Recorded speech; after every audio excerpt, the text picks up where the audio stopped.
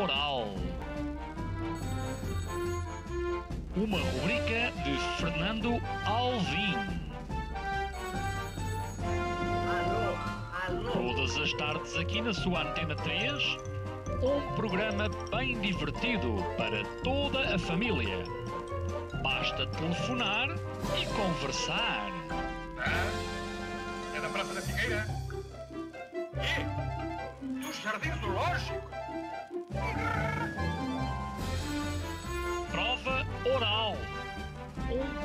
Programa para gente nova.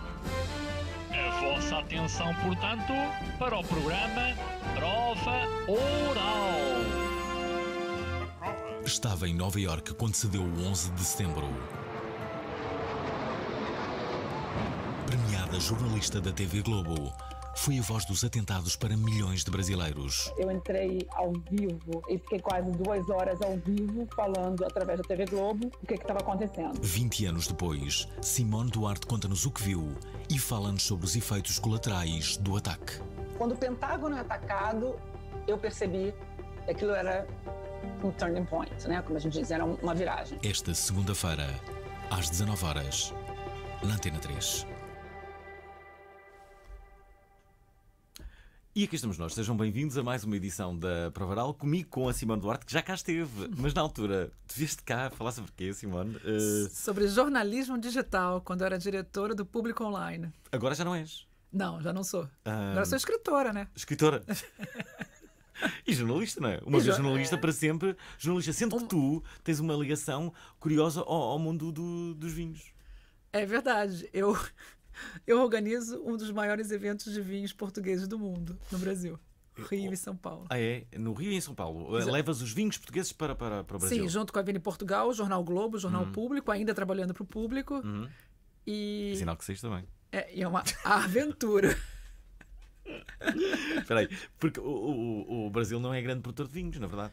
Não, agora tem Se um pouco. começam a. Sim, Sim, ouvi falar, mas a é? gente já faz esse evento há oito anos e, e o consumo de vinho aumentou imenso e o consumo de vinho português. Achas que isso tem a ver com a subida ao poder do Bolsonaro? As pessoas têm que beber mais. Acho que as pessoas têm que esquecer um monte de coisa no Brasil Ah. atualmente, né? Mas a- o Covid também, a pandemia e tudo mais, aumentou ainda mais. Mas o nosso evento também ajudou, né, o, o- o Fernando? Vamos lá ser... Eu nunca bebi um, um vinho brasileiro. Hã? Nunca, nunca. Nunca um vinho- bebeu um vinho não, brasileiro? Não, não. Bom, eu como promovo os vinhos portugueses, eu vou Diz- fazer a delicadeza de trazer um vinho brasileiro, arriscando aceitarei. a levar, assim, uma certa advertência. Não, não, mas eh, estou bastante curioso. Já agora, eh, hum, dizer aos ouvintes que nos estão a ouvir que hum, tu viveste em Nova Iorque durante quantos anos? Vivi durante- em Nova York durante 10 anos. 10 anos. Moravas muito perto do World, eh, World Trade Center. Não, eu morava, na realidade, a quase 100 quarteirões do World Trade Center. Não sei o que é que são 100 quarteirões. Quar- Sabe o que é que é um bloco? Sabe? Manhattan? Não sei se todos os A ouvintes pé, conhecem. a pé quanto, é que, eh, quanto tempo é que demoravas a chegar ao World Não, Trade eu não ia a pé ao World Trade Center, eu ia de metro. Center? Tanto longe, não é? Fui muitas vezes de metro. É longe, longe. Vamos supor, a, a ilha de Manhattan, imagina, é uma ilha. É, eu trabalhava na época do 11 de setembro, eu trabalhava no meio da ilha. O World Trade Center ficava numa ponta da ilha e eu ficava ao norte, ou seja, o meu escritório ficava entre o World Trade Center e a minha casa. Eu não ficava lá, no, eu não era no Harlem, mas era tipo na altura das 90 e tal. Fico sempre com curiosidade em saber como é que é viver em Nova Iorque. Alguém que vive 10 anos, como é que era a tua vida? A minha vida era, era veloz, era incrível. Eu costumo dizer que Nova York é aquela cidade que, se você gostar, se você for um especialista em minhoca, vai haver três workshops sobre minhoca naquela semana. Então é uma cidade onde a informação está sempre é, circulando, circulando, circulando. Então, no, no, no primeiro momento, assim, eu me lembro de tr- três meses depois de me mudar para Nova York, meu pai e minha mãe foram me visitar. E meu pai perguntou: por que, que você está andando tão rápido? E por que, que você usa uma mala tão pesada para ir para o trabalho? Mas todo Nova Yorkino é assim, pai. Tem que, ter, tem que ir rápido e tem que botar muita coisa dentro da mala. É um pouco isso vai. Depois tem um momento que isso é digamos, essa, essa informação, esse excesso de informação, você sempre tem a sensação de que está perdendo alguma coisa. Porque tem alguma coisa acontecendo fantástica na cidade que você está perdendo. Depois vira ao contrário, né? Você fica completamente paranoico. Não, mas foi muito bom, foi muito bom. É uma cidade cheia de estímulos e eu adorei viver lá. Bem, a verdade é que uh, uh, tu lançaste um livro que se chama O Vento Mudou de Direção, o 11 de setembro que ninguém viu, uhum. onde tu falas do 11 de setembro de uma outra perspectiva. Exatamente. De uma perspectiva uh, colateral, isto é, que, que, que, outras pessoas, que não aquelas que morreram uhum. no, no, no 11 de setembro, foram atingidas por este ataque. Pois é, você me permite só. Eu não acho que seja colateral. Vou ser um pouco polêmica aqui. Eu acho que elas foram atingidas pelo 11 de setembro, apesar de não estarem no prédio. Mas o efeito nelas foi tão devastador quanto as pessoas que sobreviveram ao ataque. Porque elas vivem uma situação de guerra desde de outubro né, do, de 2001, quando os Estados Unidos resolvem que tem que atacar e teriam que atacar. É inimaginável pensar que uma potência ou qualquer país não atacaria se fosse atacado daquela maneira. Uhum. Mas os efeitos né, desse, dessa guerra ao terror, como foi chamada é, essa guerra que os Estados Unidos começou, são devastadores até hoje. Eu estou falando de milhares de pessoas que perderam a vida, chegam a dizer mais de um milhão, em pelo menos três países, sem contar todos os efeitos no Médio Oriente. Pessoas foram presas, muitas. Uh, uh, pessoas que foram, foram presas, muitas. Uh... Muitas pessoas injustamente, né? uhum. né? Se, se, a gente for falar também dos ataques dos drones, que parece muito giro, muito legal, mas não é. Mata muita gente, é uma guerra muito suja. A gente aconteceu agora, 19 de agosto, uhum. que o Pentágono pediu desculpas. 25 de agosto, se não me engano. O Pentágono pediu desculpa, mas depois você pede desculpa e matou criança, matou civil. Como é que como é que as pessoas causam uma frustração muito grande e isso também explica um pouco como é que o Talibã voltou ao poder, né? 20 anos depois. Eh, essa é uma pergunta que eu te vou uh, fazer, mas antes disso, curiosamente, há uma passagem no teu livro onde tu falas da guerra do, do Golfo uhum. e há uma imagem que eu, e eu tenho essa imagem em que aquilo parecia basicamente videogame. Parecia um jogo de computador, é verdade, é verdade. É, Lembro-me que eram tons de, de, de verde. verde é? Exatamente. Parecia, repara, eram explosões, mas no fundo parecia mesmo um jogo de computador. Você não vê sangue. Pois é isso. É você isso. acha que ninguém está morrendo, né? Hum. Você acha que. E realmente, se você lembrar daquela guerra, você devia ser um menino, né? Você Eu sou um era menino ainda. Um... Tava ainda engatinhando, mas lembra. É, aquelas imagens, eu me lembro, eu já trabalhava, eu era muito jovem, mas já uhum. trabalhava. E eu me lembro que a sensação que você tinha é que era um videogame que ninguém morria, né? Porque era só aquelas imagens verdes que a gente achava até bonitinho, né? Porque era tudo verde, a gente nunca tinha visto aquelas imagens. E a Guerra do Golfo, 1991, é, é uma guerra toda que as imagens que o Ocidente mostra, né? as imagens que viam na TV, eram as imagens verdes, tipo videogame. Sabes o que é que eu me lembro? Eu lembro-me que nessa altura havia tanta informação Uhum. que o jornal onde tu trabalhaste, o público, uhum. tinha uma edição de papel de manhã e outra à tarde. Uau! Fantástico. Isso era incrível e isso nunca mais vi uh, em Portugal. Uh, havia Acho uma que... edição de papel de manhã e depois outra. Olha, isso existia loucura. no Brasil na época da minha mãe, que era o matutino e o vespertino, né? Agora, sabe o que você me lembrou agora? Hum, o que, é que eu te lembrei? E quando eu estava pensando em escrever esse livro, né? Porque foram foi 18 anos depois de eu ter. A gente ainda não falou disso, a gente vai falar, hum. mas de eu ter narrado o 11 de setembro para o Brasil, eu fiquei sem ouvir a transmissão. E aí eu resolvi que eu queria escrever um livro. E aí, por acaso, uma amiga minha, que era professora de espanhol numa escola aqui em Lisboa, me convidou. Eu moro em Lisboa já há três anos. Hum. Me convidou a, a, dar aula, a, a fazer uma, uma exposição sobre a minha carreira para os alunos de toda a escola, de que tinham tipo 10, 11, 12 anos. E eu me lembro de ter ido lá e pensado, assim, sei lá, 100 crianças na sala, né, um monte de miúdos. Hum. E eu pensei, como é que eu vou controlar essas, esses meninos todos para que eles não olhem nada? E houve dois momentos, Alvin, que eles pararam. Foi no momento que eu falei sobre o 11 de setembro, né? Porque pensa bem, esses meninos, eles viram videogame, eles viram essas imagens da torre caindo, das torres caindo, é uma imagem que está no imaginário, mesmo de quem nasceu depois do 11 de setembro. Hum. Né? Eles já, eles, essa imagem, então, eles ficaram todos em silêncio. Agora imagina uma plateia de 100 crianças de 12 anos, todas em silêncio. E quando eu falava. E eu não, eu não tô, imaginando, não estou conseguindo imaginar. Não, não, é, é quase inimaginável, mas eu vi. Hum. E há pessoas, há testemunhas. E de repente eu estava falando sobre como é que eu fui ao ground zero, como é que eu senti o cheiro da carne queimando, que era carne humana, e os olhos deles vidrados, arregalados. Eu contando tudo aquilo e eles foi um dos momentos, foram dois momentos. Esse momento e quando eu falei de liderança, porque eu fiz um filme sobre o Sérgio Vieira de Mello, uhum. que morreu no Iraque, já resultado da guerra ao terror quando a ONU é bombardeada, é atacada.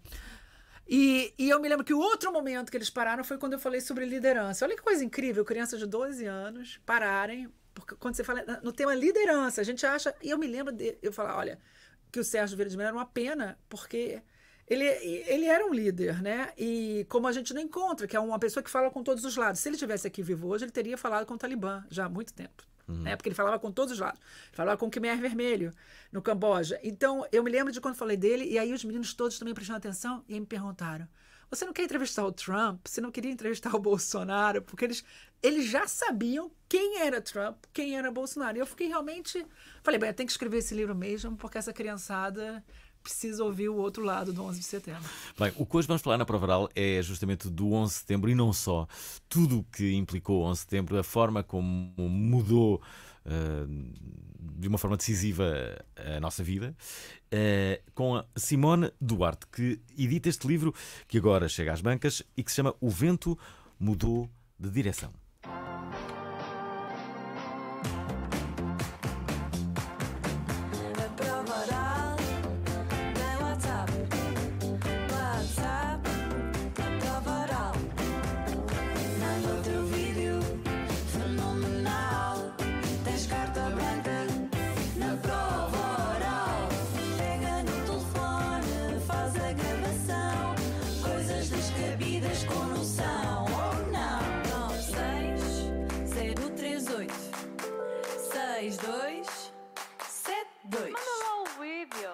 Simone Duarte, convidada de hoje da Provaral, já sabem, enviem as vossas mensagens, vídeos, o que quiserem, através do 960386272, a nossa linha do WhatsApp. Simone, há pouco estavas a dizer que querias explicar, isto é, não sei se bem assim, de, Tu, tu, encontras uma explicação para a chegada uh, ao poder do, do, dos Talibã, de, de novo no Afeganistão? Não, na realidade há várias explicações. Né? É, primeiro que a guerra ao terror, ou seja, é, uma coisa é, obviamente, que os Estados Unidos teriam que reagir, e hum. obviamente que eles teriam que atacar, e atacam o Afeganistão, que era o lugar onde Osama Bin Laden se escondia, hum. Osama Bin Laden, líder da Al-Qaeda, que atacou as Torres Gêmeas em Nova York e o Pentágono e, e, o avião que caiu na Pensilvânia. Mas ninguém imaginava que eles fossem ficar 20 anos. Assim, por que, que eles vão ao Afeganistão? Porque o Osama está lá, mas quem governava o Afeganistão na altura era o Talibã. Uhum. Né? O Talibã, que a gente conhece mais por ter é, essa visão distorcida do Islã, a maneira como trata a mulher, mas na realidade o Talibã nunca atacou os americanos. Quem atacou os americanos foram a Al-Qaeda. É, e na realidade o Talibã nem se importava muito com o resto do mundo. O negócio dele era, era ali o Afeganistão. Então o Talibã sai do poder, né? É, só que ninguém imaginava, e Al-Qaeda, e o Osama Bin Laden só vai ser morto 10 anos depois.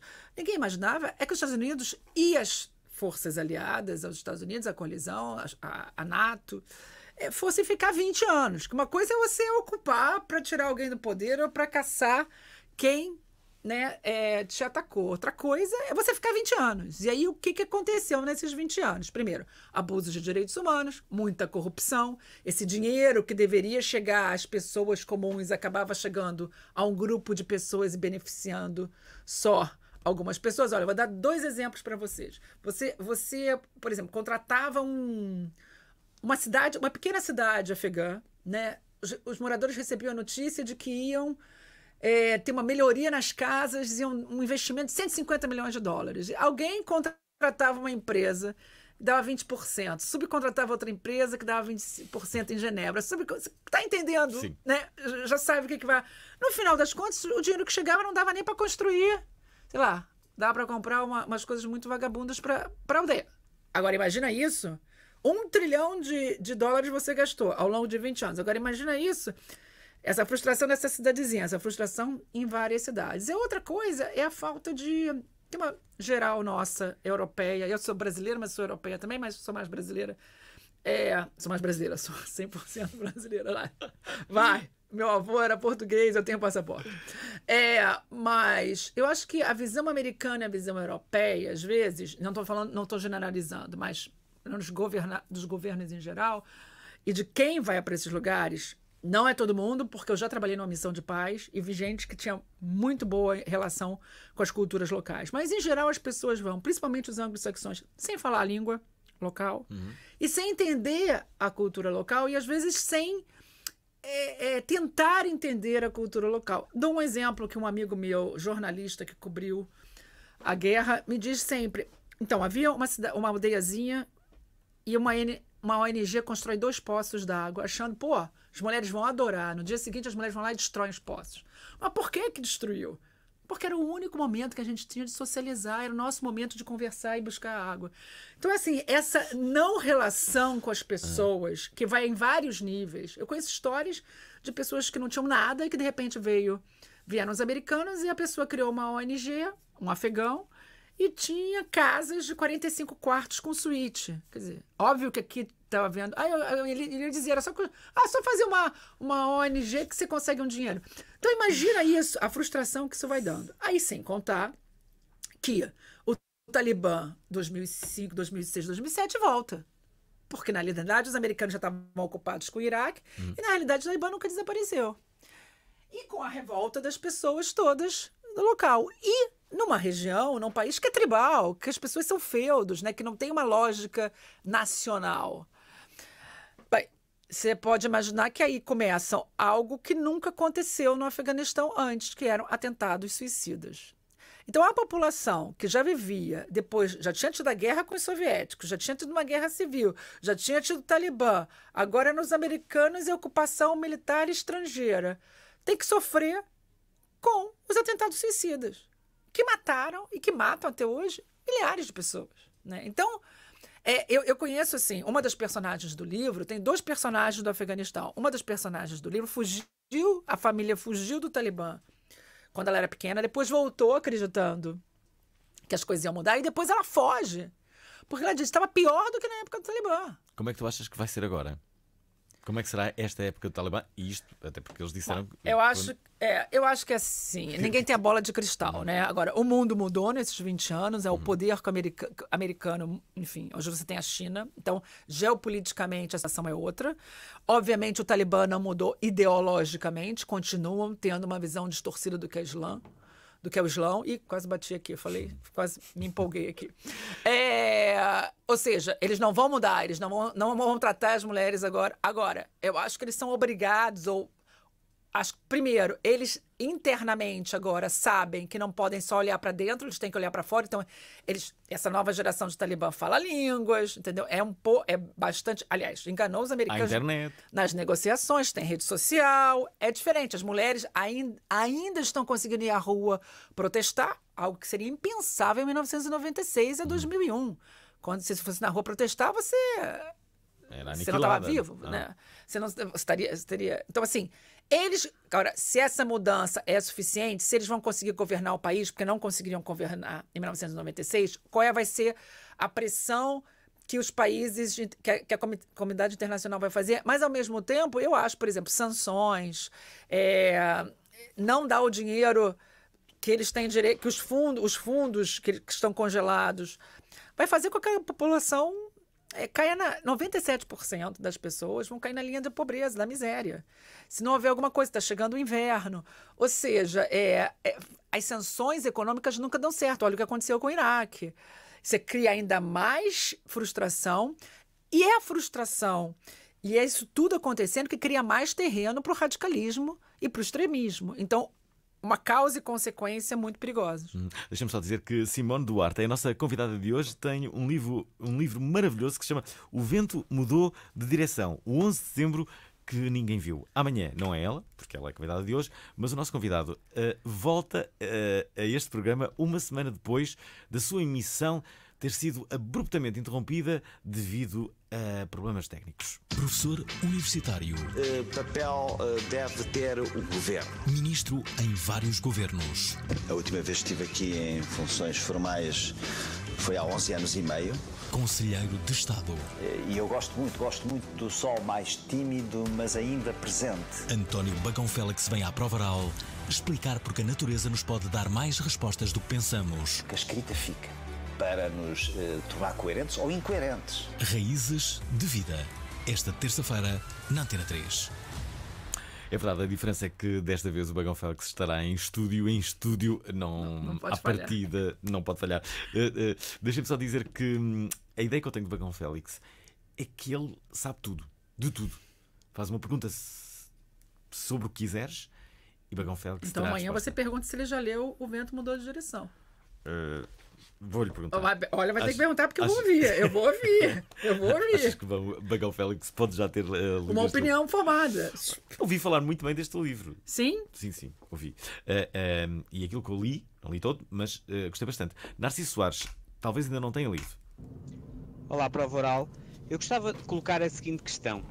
Acha que se o Trump fosse ainda presidente, se as coisas tinham corrido exatamente como correram no Afeganistão?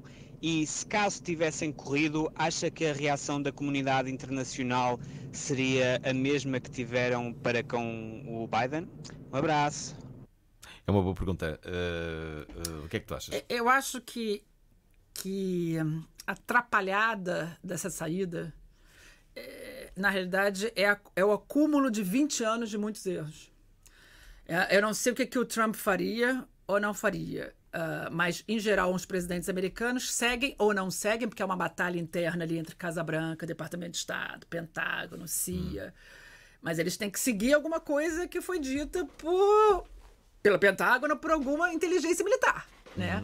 Então, e o que foi feio, quer dizer, há, há vários erros, né? E prova- provavelmente esses think tanks americanos vão avaliar esses erros ao longo dos próximos 20 anos. É, O, o que eu queria voltar, eu não sei se eu estou respondendo a você, Narciso, né? Narciso? Sim, Narciso.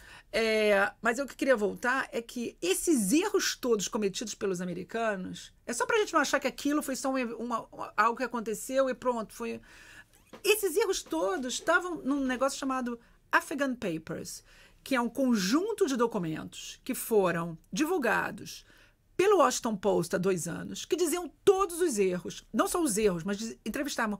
Eram as entrevistas com 400 altos funcionários americanos que mostravam que os generais todos, essa gente toda, é, americana de todos os governos, porque a gente teve dois governos George W. Bush, dois governos Obama, o Trump e o Biden, e nessa época ainda o Trump, né, o Biden não estava nessa lista, sabiam que estavam perdendo para o Talibã, mas diziam outra coisa para a opinião pública, diziam que estavam ganhando, que era um sucesso. E o que eu acho ainda mais curioso é que agora com essa saída desastrosa, a imprensa americana vai ouvir os mesmos generais que perderam todas as guerras. Né? Então, toda a grande empresa americana vai. Eu fico assim, peraí. Mas esses não foram os que fizeram tudo errado? E a gente agora vai ouvi-los para saber o que, que eles teriam feito de diferente?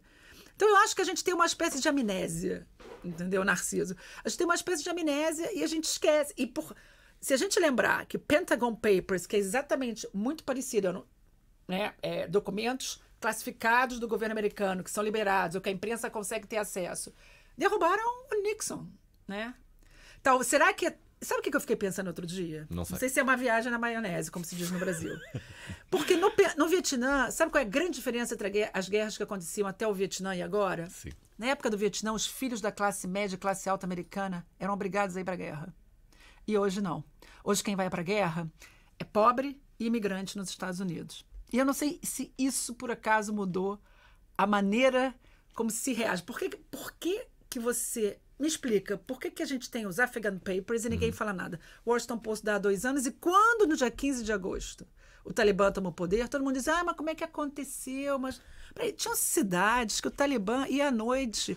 Era assim: Estados Unidos, tropas americanas e tropas da NATO durante o dia, tropas do Talibã durante a noite. Então, sabia-se que o Talibã estava por todo lado.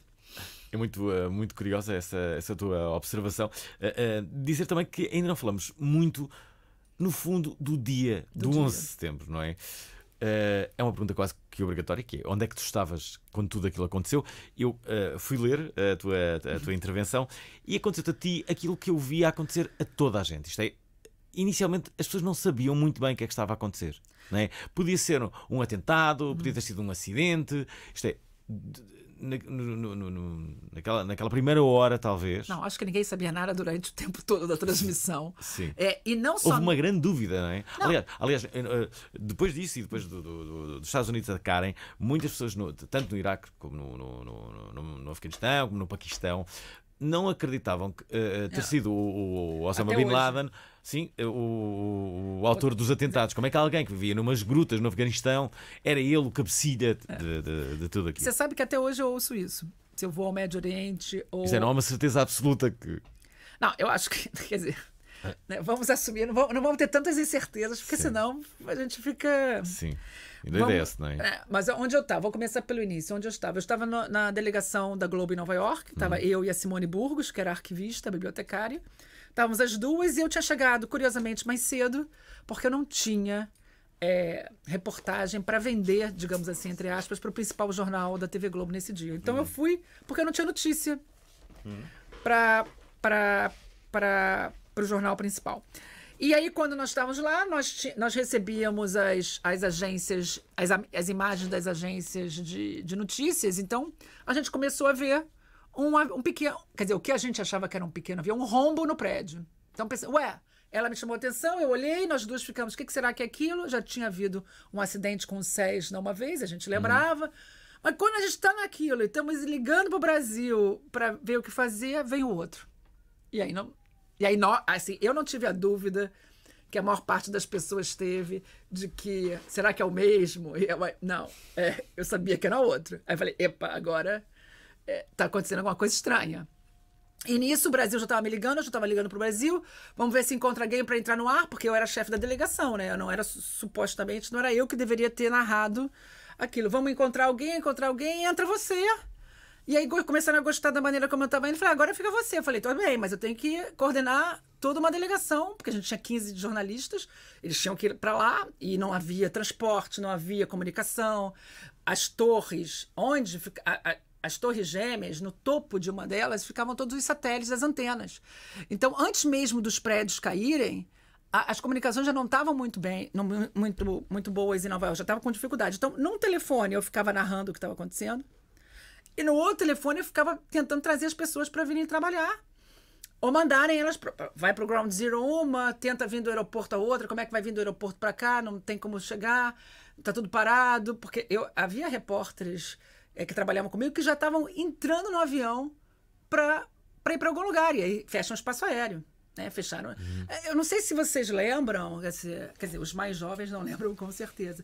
Mas em, algum, em, em um determinado momento naquele dia havia 17 aviões desaparecidos. Porque aí começou a vir o terror, né? Ninguém sabia de nada. Então, e agora tem mais um. Aí diziam, o Departamento de Estado foi atacado, eu não sei o quê. E os jornalistas americanos também não sabiam de nada. Então ninguém sabia de nada. E a gente tentava ligar para Departamento de Estado, para tudo isso, ninguém atendia. Então eu acho que assim, o que mostra, tem um, um- capítulo do livro que é justamente a narração, né? é, daquele dia. E eu acho que hoje esse documento, por que, que eu quis escrever esse Querias ler capítulo? uma parte qual era? Qual era a parte que tu querias ler? Mas era, era essa parte? Não, Não eu sei- queria, não sei eu queria ler. Eu queria a parte do encontro do Osama Bin Laden, mas eu ah, posso. era isso. Não, era mas eu isso. posso ler uma, um trechozinho. Eu acho assim, para mim o trecho que que eu me lembro, há dois trechos e um você já passou aí. Hum. Há dois trechos que para mim são muito fortes. É a hora que a torre cai. A primeira torre a cair, na realidade, foi a segunda torre a ser atingida. Então é assim, às 10 e 03 da manhã, da, tô falando no horário Nova York, né? Eu tava com o Carlos Nascimento, que estava no, no, no Brasil, e, e a gente estava mostrando. Ele falava assim: só um instante, Simone, para dizer que todo o centro financeiro da ilha de Manhattan está coberto. Aí eu, gritando: a torre acaba de cair. Mas eu, eu gritei pior do que isso, tá? E aí ele, aí ele repete em cima de mim: caiu a torre, caiu uma das torres do World Trade Center. E eu repito: uma das torres acaba de cair, mas assim, você já vê que eu já tinha uma. A minha voz já estava diferente. E um outro momento, que para mim também é muito forte, que é anterior a esse, é quando o Pentágono é atacado. Por quê? Porque ali eu percebi que a situação era muito mais grave do que qualquer coisa que nós pudéssemos imaginar. Porque ninguém ataca né, o poder militar da maior potência do mundo. Né? Quem é? Eu pensei, a Terceira Guerra Mundial não é possível. Quem será? É, e o, o nome do Osama não foi falado durante esse dia, só é falado mais tarde. Havia muitas teses conspirativas em relação a esse avião que cai no Pentágono. Dizia-se que, que, Ah, era uma que, não, não- que- que não tinha acontecido. Que, Mas aí há toda uma, uma linha de, de, de, de teorias conspiratórias sobre tudo nos Estados Unidos, né? No mundo, não né? é só nos Estados Unidos. Né? Mas no- nos Estados Unidos tem vários. O Kennedy, então, você. Aliás, é interessante o Kennedy, porque existia uma máxima é, nos Estados Unidos, que era onde você estava quando o Kennedy foi assassinado. Aqui em Portugal é onde você estava quando houve a Revolução. E agora é onde você estava no 11 de setembro. Sim, para as novas gerações é onde, onde, é, que, onde é que estavam no, no, no 11 de setembro. Novas gerações não, né? Não, a nossa geração, não, novas, não, as mais novas eu não tenho ideia. tu, tu, tu há pouco estavas a dizer que, que nessa aula que deste aos miúdos, que os miúdos ficaram em silêncio com, com 11 de setembro. Bom, eu acho que é o grande acontecimento do, dos últimos anos, eh, sem dúvida, e que mudou em absoluta eh, eh, as vidas de todos. Mas, mas, por exemplo, sei lá, quando eu olho para a Primeira Guerra Mundial e a Segunda Guerra Mundial, não sinto o mesmo que sinto com 11 de setembro. Sabe qual é a diferença? Tinha televisão e 2 mil milhões de pessoas assistiram ao vivo, em direto. Eu acho que hum. essa é a grande diferença. E esse é um dos motivos pelo qual eu fiz o vento mudou de direção, porque essa, esse outro lado você não vê. Você não vê as imagens, você vê assim os campos de refugiados, né? você vê todo o preconceito, mas você não vê mesmo o que, que aconteceu com essas pessoas nesses países. Isso foi o que aconteceu agora com a, a pandemia. O facto de ninguém ver uh, sangue e corpos, uh, ou, ou, ver de uma forma mais uh, subtil, faz com que algumas pessoas. Ah, afinal não, não, aconteceu nada, não aconteceu mas as pessoas estão a morrer, não é? É, é, é, só que, assim, é, é muito triste quando você vê. Eu acho assim: qualquer vida perdida é uma vida perdida, não importa se ela estava no prédio ou não importa se ela estava no centro de Cabul. E eu acho que nós temos muito mais. É... Olha bem, eu estava no centro disso tudo. Né? Eu vivi 11 de setembro, eu não hum. sou uma pessoa. Morei 10 anos nos Estados Unidos, para mim não é algo indiferente. Tu estavas lá no 11 de setembro. É, não é, assim, não, e não é só isso, né? Eu narrei algo horrível. Né? Não é à toa que eu fiquei. As pessoas me perguntam: você sentiu medo? Eu não tive tempo de sentir medo. Não tinha tempo. Ou eu sentia medo ou eu narrava. Então, narrei. É, é não, não senti medo, não, sabe? Não te sentiste emocionada por vezes? Não, eu me sinto. É, eu não tive tempo de me sentir emocionada durante. Hum. Tá? e você vê, mesmo na minha narração, é uma narração que você percebe em alguns momentos que eu tô aflita. Hum. Mas não era uma aflita medo, era uma aflita de quanta coisa que eu tinha que fazer e o que, que está acontecendo. Que é diferente. É óbvio que quando eu vou para casa naquela noite, já às quatro da manhã, e deito na cama por 20 minutos, porque eu tenho que voltar para a redação, porque, por causa da diferença de fuso horário. Uhum. Tinha um, porque depois desse dia a gente ficava 24 horas praticamente com o satélite aberto no ar. E, e a gente está falando de um tempo, e eu acho que isso é importante, que não tinha rede social. E mesmo os celulares não, não existia, os telemóveis não existia smartphone. Estamos falando de uma outra era, 2001, gente. Não que, era isso que a gente conhece hoje. O que, é que, o que, é que teria sido o 11 de setembro se existissem redes sociais? As teses conspirativas seriam quatro vezes mais, não é? é, não, é... é e você sabe que é, um jornalista brasileiro me perguntou sobre, que a gente não falou ainda, mas sobre o Becker, que é hum. o jornalista que entrevista Osama Bin Laden antes dos atentados e para quem o Osama diz que vai atacar. Quer dizer, ele não diz o quê, mas diz: você vai ter aí um grande. É, um mas eu grande... falar muito de mim. É, vocês vão falar muito de mim e vai ter um. O, o, o negócio dos caixões vai. Profe... Como é que é? Vai, vai ser muito lucrativo nos Estados Unidos nos próximos tempos. Tá? Ele fala. Ah. Ele não, ele não fala, mas quem tá. Porque o que acontece? É uma entrevista tão bizarra. Porque o Mullah Omar, que era o, chef, o líder do Talibã, tinha proibido o Osama de falar e tinha dito para o Osama: você não pode atacar ninguém aqui. Né? Então, assim, o Osama meio que só, só pode atacar Israel. Isso ele, ele, ele deixava. Mas, então, por isso que o Osama, o Osama, quando o Becker chega para entrevistá-lo, e aí, no livro eu quero até ler um trecho disso, hum. porque é uma viagem extraordinária, né? Você não vai ser levado para entrevistar um homem que tem a cabeça prima 5 milhões de dólares. Eras capaz de entrevistar o Osama Bin Laden? Se te fosse dada essa oportunidade? Não, agora já era, porque ele já foi. Agora não né? dá. Tá Mas eu entrevistaria. É, eu acho que sim. Quer dizer, depende. Ah, mas essa é a pergunta, mas, essa é a pergunta que me, fiz, que me fizeram a mim sobre esse jornalista. Se fosse hoje, mas isso não é um dilema, colocar o que ele disse. Se fosse hoje, teriam 500 mil telefones, de, já estava na net, entendeu? Já estava em alguma rede social. Como né? é que será entrevistar a pessoa mais procurada do mundo? Não é? Uh, tu és jornalista e tens a oportunidade de entrevistar, e entrevistas mesmo, a pessoa ah. mais procurada do, do, do, mundo. Aliás, vem um relato no teu livro em que, uh, numa das últimas entrevistas, ou mesmo na última, uh, o jornalista percebe que há, há uma, uma espécie de tensão no ar e que o sítio onde eles estão a fazer aquela entrevista com Osama Bin Laden pode uh, a qualquer momento ser bombardeado. E a verdade, yeah. é, é, eles, eles saem rapidamente, de, interrompem a entrevista é. para saírem e, e é minutos depois o, o sítio é bombardeado. Mas você sabe que esse é o motivo pelo qual o Becker, que é o jornalista que faz essa entrevista antes dos atentados. Quando ele está saindo, o Osama diz assim: olha, depois que eu fizer o que eu vou fazer, depois que acontecer, eu vou chamar você para me entrevistar de novo. E ele, e ele chama, não, não é ele que liga e chama, né? Vamos combinar que não é assim que funciona. Mas um mensageiro e tal da Al-Qaeda. E o Becker decide não. porque Justamente porque ele temia pelos serviços de espionagem, pelos serviços de inteligência, ele temia que algo assim acontecesse e ele pudesse ser morto, entendeu? Porque o que, que acontece? Depois que ele entrevista o Osama, todos os serviços de inteligência passam a estar em cima dele.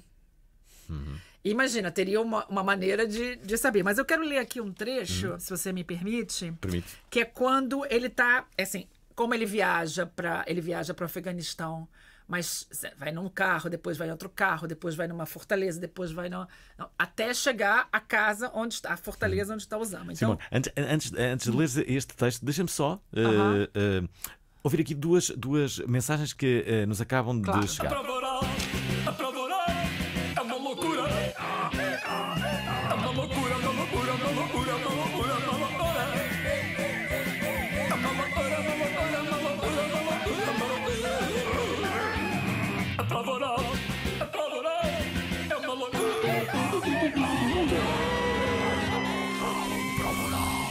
Gosto muito de falar de temas eh, fora do dia. Isto é, eh, eh, em vez de ser no dia 11 de setembro, estamos a falar no dia 11 de setembro, é, é bom estarmos a falar no dia 20 de setembro sobre o 11 de, de setembro. E com uma pessoa como tu, Simone, pareces-me ser uma, uma mente aberta. E eh, ehm, eu queria, daqui a pouco eh, vamos falar sobre isso, eu queria falar ainda de uma coisa que não tem nada a ver com o tema e tem, que é sobre o mundo digital e o que mudou no jornalismo.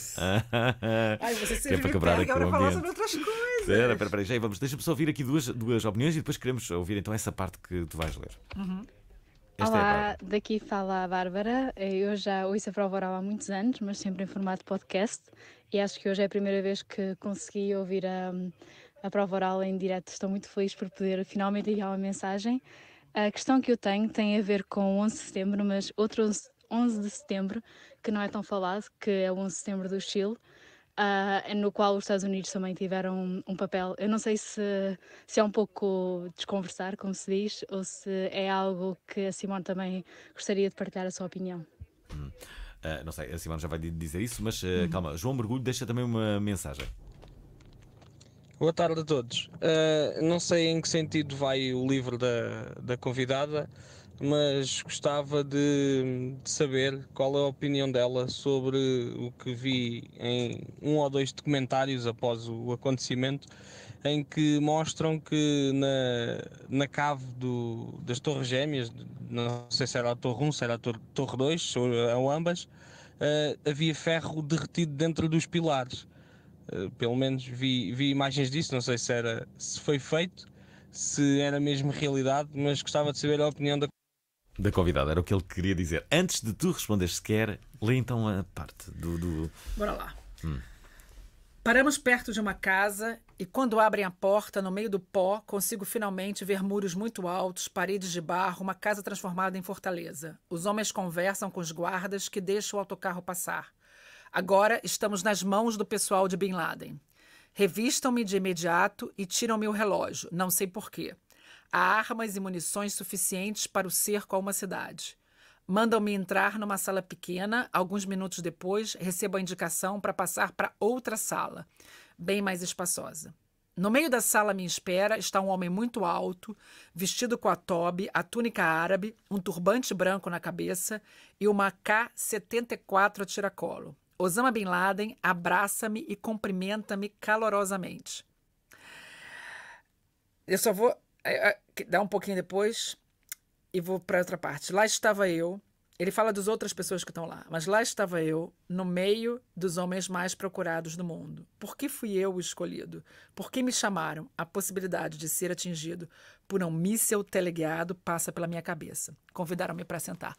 Você pode imaginar se chegar, tá a cúpula da Al-Qaeda, né?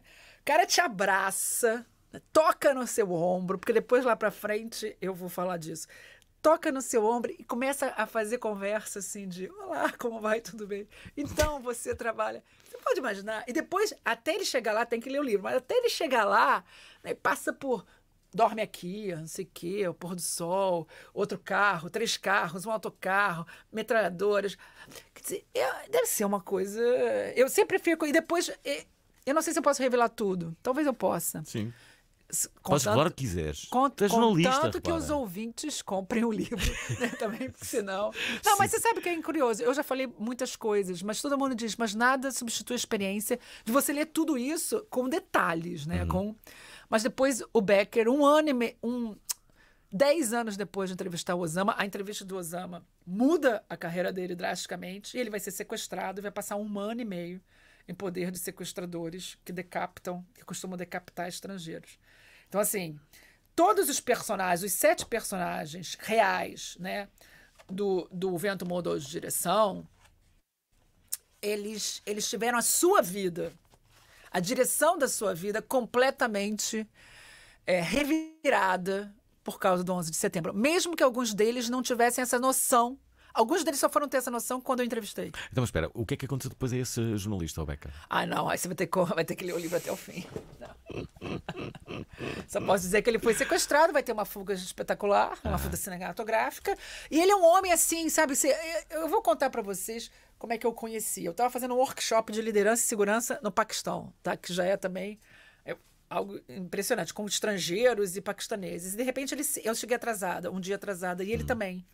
Só que eu não sabia quem ele era. Ele sentou na minha frente no autocarro que estava indo para um jantar da conferência.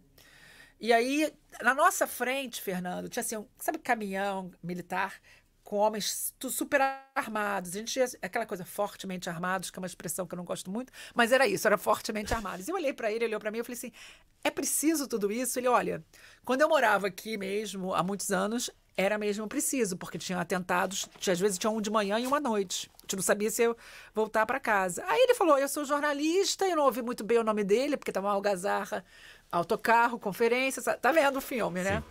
E aí ele diz, assim- eu digo assim, ah, talvez você possa me ajudar, já que você é jornalista, eu quero entrevistar o Hamid Mir, que entrevistou o Osama. Você me ajuda? E ele, pô, claro, eu conheço, vou mandar aqui uma mensagem para ele. Aí olha para mim e fala assim, eu também entrevistei o Osama. Aí eu, hã? Sim, Mas sabe, ele fala como se estivesse aqui falando com você. Me dá essa água aí. pa- Sem afetação nenhuma. Sabe? Na Mas boa. o que é que o Osama dizia? O quê? Pra ele? Sim. Ah, É- mas peraí, eu não vou contar o livro todo. És uma ótima vendedora. É maravilhoso. Deixa- Não, não, vendedora não, sou ótima jornalista, espero. vendedora não, pô. Não, vendedora. Aliás, um jornalista é um vendedor, porque você tem que convencer todos os dias o seu editor a comprar a sua matéria. Sim, Não sim, de é verdade. Agora Não mais do que de nunca. Olha, é agora, é agora. Bem, agora tens que responder aqui Eu tenho que responder, eh, ó, eh, então. Bárbara e ao João. Bárbara, o 11 de setembro de 1963, não é Hum. isso? Se eu não me, não me engano. Allende é deposto, ou seja, é, é um golpe. É óbvio que é uma coisa horrível, é uma coisa horrível, principalmente para nós latinos. E sim, é, quer dizer, os Estados Unidos sempre tiveram um papel. Os Estados Unidos ou qualquer outra potência que está no poder e comanda o mundo em determinado momento, e no caso das, da repressão da- das ditaduras militares na América Latina, numa época de Guerra Fria, os Estados Unidos realmente foi responsável por muito do que aconteceu nesses países. Eu sempre, eu, eu sempre me lembro de um filme chamado O Julgamento de Henry Kissinger. Henry Kissinger, Bárbara deve saber, foi um secretário de Estado americano muito importante, está vivo até hoje, deve ter quase 100 anos. E, e ele, aliás, eu encontrei o Henry Kissinger uma vez, depois eu conto essa história. Mas, enfim, e, e, e no, e no filme, né, tem uma parte sobre a Indonésia e o Timor, né? E o Kissinger jura que não teve nada a ver com aquilo, né? E, e eu também tenho uma teoria sobre embaixadores velhinhos. Qual é a tua teoria sobre o embaixador? Quando eles velhinhos? ficam velhinhos, eles começam a falar.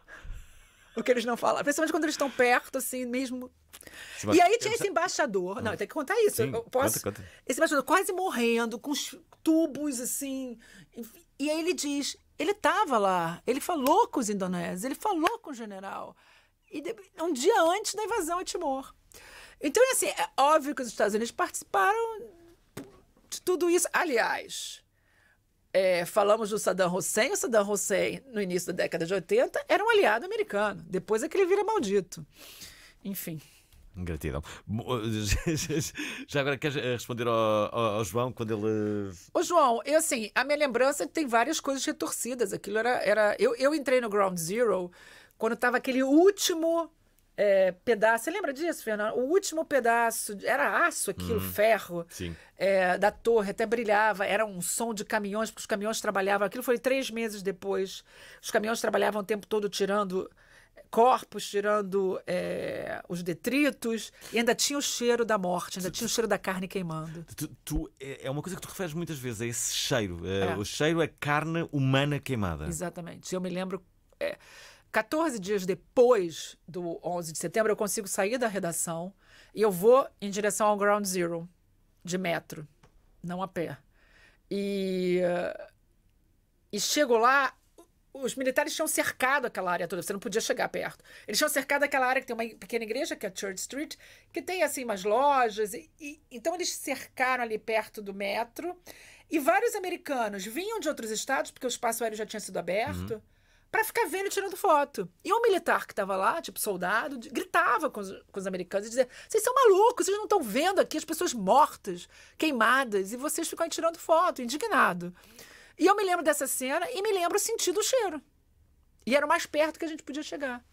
E, e você vinha as- aquelas lojas todas com aquele pó branco, que foi uma imagem que ficou muito, né, digamos, é, uma imagem que está no inconsciente das pessoas, daquela, de quem viveu aquilo. E você tinha esse cheiro. E esse cheiro ficou comigo. Então, quando eu entro no Ground Zero, os trabalhadores estão fazendo isso é para gravar uma retrospectiva para Globo, e a gente achava que não ia poder entrar, mas foi um momento que eles liberaram para jornalistas. É, e já era noite, já era. tá- Não era noite, mas assim, eram quatro da tarde, cinco da tarde nos Estados Unidos, no inverno já é noite. E, e a gente entra, é aquele barulho, e eu sinto o cheiro. Aí você vai me perguntar assim, mas não é possível, três meses depois, não é possível que você vai sentindo o cheiro. Eu, eu vou ser muito honesta com você, eu não sei se é o cheiro da minha lembrança daquele, daqueles 14 dias depois do 11 de setembro, ou se é o cheiro mesmo que eu senti ali. Mas o cheiro é algo para mim muito forte, a carne humana queimando. Isso eu nunca vou me esquecer. Uma outra coisa que eh, importa aqui falar contigo é sobre as histórias eh, eh, que simbolizam aquele, aquele edifício. O que, é que, o, o que é que era o World Trade Center e o que é que é agora? E- e- Não, pra mim, ai, mas aí sou eu, né? Talvez eu seja uma pessoa vintage, eu tô ficando velha. Pra mim, aquelas duas torres. Não, é sério. Eu, eu sempre fui, eu, eu sempre fui muito boa em direção. Eu sou aquela que, quando vai a uma viagem, eu que faço os mapas, eu que digo que é, sou meio mandona, né? Aliás, sou mandona em geral, nas viagens ainda mais. Mas mas eu me lembro que quando eu mudei pra Nova York, eu me mudei pra Nova York, assim, Estás, casado assim, mano? já fui, né? Ok. Muitos anos, hein? Quem diria? Percebo porque é que falas no pretérito perfeito. Sim, sim. Não estava a ver como é que seria, não é? Não, não. O que que você quer dizer com isso? Não, não, não. Vamos voltar ao 11 de setembro, que é um tema mais. Sim, sim, sem dúvida. Sim, sim. que eu sou mais expert. É, hum, Está a adorar. Não, mas, mas às vezes a gente tem que rir um pouco para falar de assuntos tão Hum. sérios como esse. O 11 de setembro eu tô aqui assim, descontraída, mas é um tema para mim que é muito. Como você pra pode todos, não é? imaginar, é para todos, mas eu acho que para todos nós é muito duro. É, hum, mas para quem tava lá, eu acho que para quem. E depois para quem foi. Eu fui pro outro lado e vi como é que aquilo teve efeito em tantas vidas. E É tanta gente que teve a vida destruída por causa daquele momento e por causa de tantas políticas antes e depois daquilo, né? Porque tudo é causa e efeito. Mas vamos lá, eu estava falando. Então, para mim era assim, eu fui morar em Nova York em 1998. Depois passei um tempo, no final de 99, passei um tempo em Timor e voltei. Então, toda vez que eu me perdia, principalmente quando ia, como eu morava mais Midtown, quando eu, uptown, quando eu ia para Downtown, eu sempre quando chegava ali na Sexta Avenida, eu ficava meio. E quando tinha umas feirinhas pelas avenidas, eu adorava aquilo. E eu sempre ficava meio perdida. Pô, o sul é pra onde mesmo? E eu olhava e tinha as duas torres. Então, para mim, aquilo era uma espécie de bússola. Tá? É, então aquilo, aquilo para mim era, era, era a minha direção. E eu acho que de uma certa maneira, quando as torres caem, não só para mim, metaforicamente, mas para o mundo todo, aquilo você perde um pouco a direção.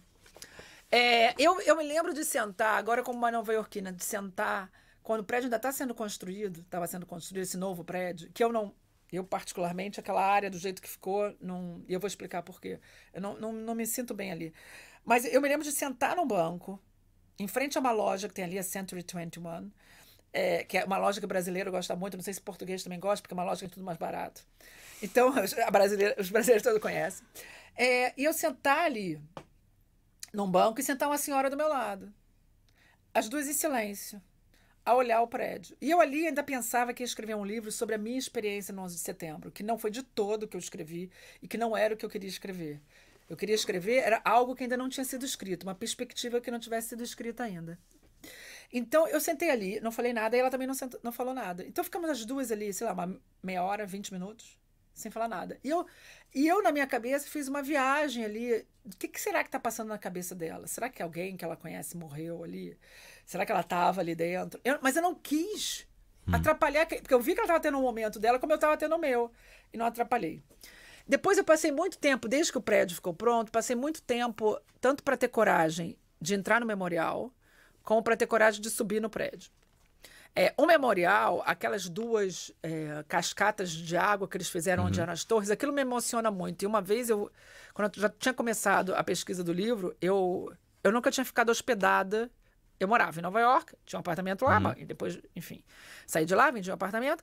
É, eu nunca tinha ficado hospedada num hotel em downtown, tão perto do Ground Zero. E aí eu fiquei. Mas pra quê? Pra acordar bem cedo e ir quando não tivesse ninguém. Porque ali vive, vive cheio de turista. Então eu acordei tipo seis e meia da manhã. Fui andando até lá e tava sozinha, praticamente sozinha. E com aquele barulho da água. E aquele barulho da água pra mim, que vai pra baixo, me lembra o barulho das torres caindo. Então aquilo me emocionou muito. Eu fiquei muito emocionada. Aqueles nomes todos, aquilo é forte. E depois, no dia seguinte, fui ao. ao... Aliás, nesse, dessa vez eu não fui ao memorial, depois eu fui. E o memorial me choca um pouco, porque é óbvio que é muito forte. Mas depois, no final, tem a lojinha do memorial. E aquela lojinha me choca na negativa. Por quê? Porque parece, assim, vendem caderninho com a cara do Osama, caçada Osama. Quer dizer, quem é que quer um caderninho com a cara do Osama? Isso não é normal. É, vende, assim, Ted Bear, ursinhos de pelúcia, com coisinhas. Quer dizer, o que, que você está ensinando para as crianças? Eu não sei, é o bem ou o mal. Eu fico, fico muito medo dessa narrativa, o bem e o mal. Os, ah, eles queriam destruir o nosso meio de viver. Não, eles não queriam destruir o nosso meio de viver. Eles queriam. Quer dizer, o Osama Bin Laden queria que os Estados Unidos saíssem da Arábia Saudita, não queria mais bases militares. Ele, ele queria dar uma resposta aos Estados Unidos. Óbvio que foi horrível, é óbvio, mas é uma consequência de algo, de uma política anterior. né? Deixa-me só dizer que estamos a 3 minutos do final Ai, deste Deus, programa. É verdade. Simone Duarte veio aqui falar sobre o livro que agora edita, que se chama O Vento Mudou de Direção. Amanhã, o nosso convidado é Bagão Félix. Professor universitário, Eh, papel eh, deve ter o governo. ministro em vários governos, A última vez que estive aqui em funções formais foi há 11 anos e meio. conselheiro de Estado, Eh, E eu gosto muito, gosto muito do sol mais tímido, mas ainda presente. António Bagão Félix vem à prova oral explicar porque a natureza nos pode dar mais respostas do que pensamos. Que a escrita fica para nos eh, tornar coerentes ou incoerentes. Raízes de vida. Esta terça-feira, na Antena 3. Amanhã não percam com Bagão Félix pela segunda vez no espaço de uma semana neste programa. A primeira eh, emissão não, não, não conseguiu chegar ao, ao fim por problemas técnicos, mas agora em estúdio penso que tudo irá correr bem. Mas- Estamos quase no final, Simone. Mas eu quero voltar semana que vem também, porque é só o bagão. Pois é, e, e muita coisa ficou eh, por falar, mas há uma coisa que eu, eu, eu- eu precisava que tu acabasses com isso. Que, eh, há duas histórias que eu sei que te são particularmente eh, eh, queridas. A do garoto, que tu eh, saberás, um garoto que gostava muito de, de futebol. Que, é- que é uma coisa que, que, que- eles gostam muito de, de- de- de futebol, e depois uma, um- uma, iracani- uma iraquiana que tem um pai misterioso. São estas duas. Eu não sei se vais conseguir em 3 minutos contar isto, mas. Bom, vamos lá, sorte. você me corta se eu não cortar. O lá. Ahmer é, é um menino que eh, foi treinado pelo Talibã paquistanês. Uhum. Quando tinha 13 anos de idade, ele entra numa mesquita com um cinturão de explosivos para se explodir Uhum. e desiste. né? Depois de três meses é, hum, sendo treinado pelo Talibã. Então, a história dele é impressionante porque ele passa por um processo de desradicalização e hoje está praticamente integrado à sociedade. Então, hoje ele tem 23 anos. Então, o que que é ser um menino aos 13 anos, entrar numa mesquita, tentar e desistir?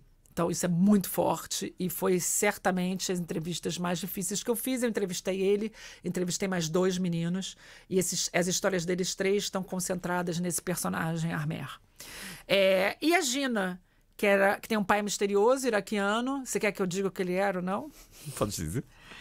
Não, eu nunca disse isso, eu não sei. Ah, agora, Bom, agora, agora vais ter que dizer. Ele trabalhava no serviço de, digamos, no serviço de inteligência para Saddam Hussein. Só que ela não sabe. É, é, e vai descobrir ao longo do, do livro. O livro não é o livro não é um livro de política internacional. O livro é escrito como se fosse um romance, quase. É quase como se escrito como se fosse uma ficção. É por isso que muita gente diz que se agarra a ele. Essas histórias vão em looping, tipo uma hora uma história, outra hora outra história, e você meio agarrado para saber o que, é que vai acontecer no Olha, fim. uma coisa a aprender com o teu livro, por exemplo, no, no Iraque, todas as pessoas eram como que obrigadas a terem uma- um retrato do Saddam Hussein em casa. Eh, e a outra é que hum, as pessoas não podiam ter ante- antenas parabólicas. Se tivessem uma antena para- parabólica, podiam ser presas. Eh, basicamente para. para, para- E como é que elas liam os livros, né? Elas sabiam sussurrando. As pessoas, os livros proibidos eram sussurrados nos ouvidos. É bonito isso, né? É muito bonito. Eh, e este programa também foi muito bonito, mas tem que acabar. Eh, gosto muito disso, Simone. Mas. eh, Mas semana que vem, se quiser, você pode me convidar Sim, de novo. Adorei vir. Tem algumas pessoas que são convidadas. Será porque eu não sou portuguesa? Assim, eu sou, eu tenho passaporte. Eu tenho passaporte. eu adoro. Eu não sabia que o teu avô era português. Hã? Não sabia que Meu avô era de Barcelos. Só que ele morreu antes da minha mãe, quando a minha mãe tinha dois anos. Ah, ok. Não gostava muito de Portugal. Não gostava. Não. Você quer que eu conte a história da bisavó? Não tem mais tempo, bisavô e da Não bisavó, não. tempo. Não, não. Eu ficava aqui mais uma hora a falar contigo, mas não temos mais tempo. Simone, quero-te agradecer o facto de teres vindo. Um livro novo que acaba de chegar e que é este, da Simone Duarte, jornalista brasileira. Foi a voz eh, do atentado de 11 de setembro para milhares, milhões de brasileiros que acompanhavam. Posso Eh, dizer que tá, vou estar no Porto, e Claro. em Coimbra, Porto, dia 28, na livraria Bertrand da cidade do Porto, do shopping. A que horas? Às 18h30. Uhum. Em Coimbra, no dia 29, na Almedina, às 18 horas. E pronto, é isto. Simone Duarte, eh, convidada de hoje do programa. Amanhã estamos de volta com Bagão Félix. Amanhã. E eu semana que vem. Gostaram da emissão? Querem ouvir outra vez? Ouçam, partilhem, comentem. rtp.pt/play o podcast da prova oral.